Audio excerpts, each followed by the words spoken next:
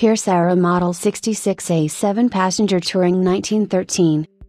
66 horsepower, 824.7 cubic inches T head inline 6 cylinder engine, 4 speed manual transmission, solid front and live rear axles with 3 quarter elliptical leaf spring suspension, and front drum and rear wheel hydraulic brakes. Wheelbase 147.5 inches. The Model 66 Pierce Arrow occupies the same position among brass era automobiles that the Bugatti Type 41 La Royale does among its classic era brethren.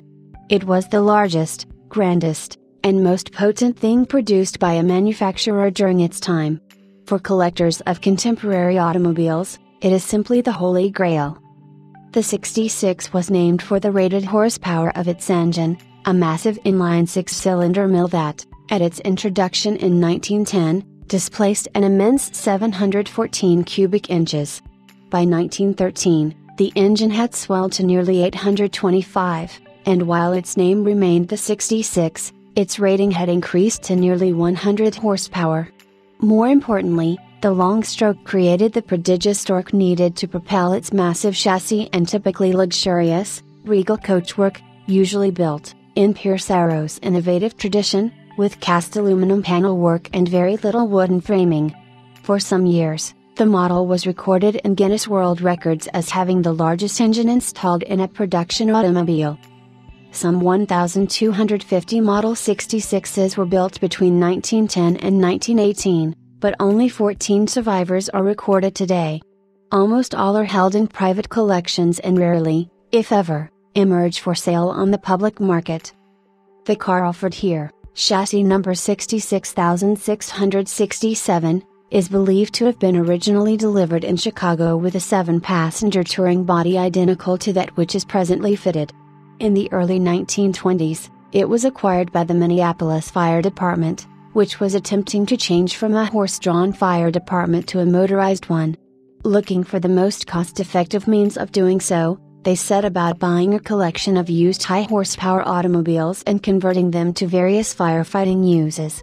The majority of these cars were Pierce Arrows, of which the department purchased about 40 between 1920 and 1924. Information on file indicates that chassis number 66667 operated in various forms in Minneapolis, including as a chief's limousine, and that it was rebuilt, following a 1927 accident involving another fire truck, with an incorrect radiator and standardized front fenders. It was eventually retired in 1948 and sold to another, smaller Minnesota Fire Department, where it served until the late 1950s. It was then purchased by Kite, a radio station in Spencer, Iowa, and used as a promotional vehicle. Ben Saunders, owner of Kite, eventually donated the Pierce Arrow to the Sioux City Shriners. The Shriners were disappointed to find that the Grand Car was not in running order, but they found a solution in local enthusiast Irving Jensen. Jensen was allowed to purchase the car on the condition that he would restore it and that the Shriners would be allowed to use it as a parade vehicle for the next 10 years. This they did, and Mr. Jensen set about returning the Model 66 to its original form, including having former Harrah's Automobile Collection bodyman Ray Graber, of San Diego, recreate the original cast aluminum coachwork from the cowl back. Red's metal shaping built the new front and rear fenders and hood, while Leif Drexler, of Quakertown, Pennsylvania, did the upholstery, top, side curtains, top boot, and drugs.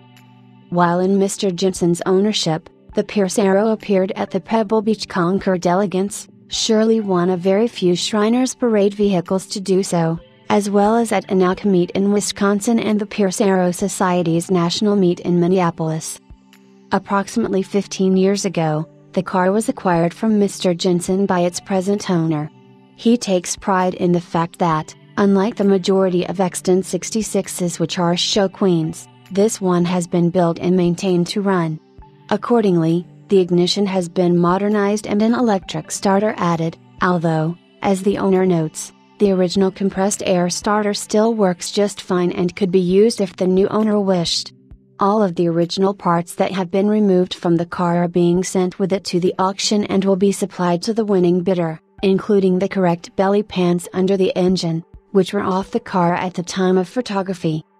The car has been on more than a dozen long distance tours, including a 2014 tour in Michigan that saw driven over 1,200 miles, largely over hills and mountains, during which no car was able to pass the massive Pierce. The owner reports that he has never failed to complete a tour in this car. One of the most impressive, dramatic, and desirable Brass era automobiles, a Model 66 Pierce Arrow is a must have for any collector of cars from this era. Survivors are very difficult to find and even more challenging to successfully acquire. Here, then, is an extraordinarily rare opportunity.